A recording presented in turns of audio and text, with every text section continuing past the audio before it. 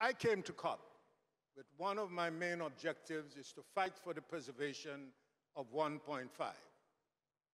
That was my objective. But I've expanded on my ambition because now I recognize we have to preserve something else. We have to preserve the platform of the youth. These young people have sent a strong signal that they require to be involved in the decision making. Now, it is important to recognize something.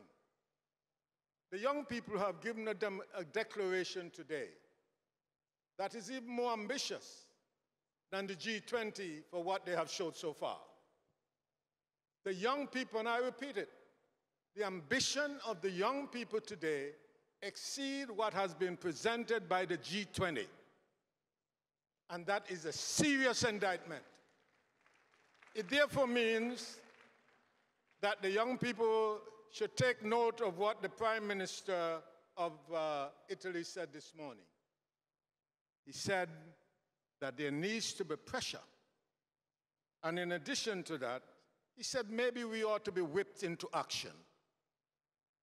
I think the young people have that ability. You may not have the money, but you have the power to bring about the change that is required. My colleague from Kenya hinted at it. And I want to be very specific in terms of what I think should be the outcome of this dialogue. There has to be a place for these young people who are the future. How can you plan the future without including the future? You cannot plan the future without including the future. And here we are, and I think it was you, Mr. Sharma, who said it should not be a one off situation. It means that the young people need a permanent platform.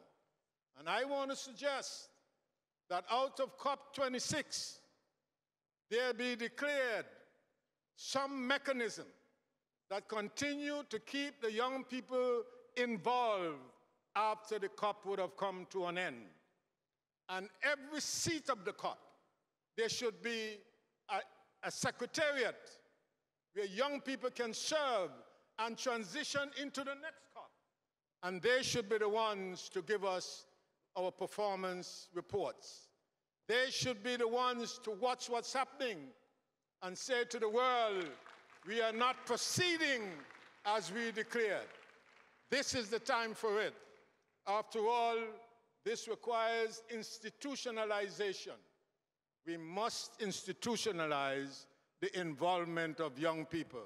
And finally, let me say to Sasha, who is a citizen of Antigua and Barbuda and a young person who has journeyed here, we have had to survive all these storms, these hurricanes, through solidarity and borrowing and getting into debt. It is time for that to stop. It is time for that to stop, and we'll be fighting for loss and damage at this COP. Those who pollute must pay.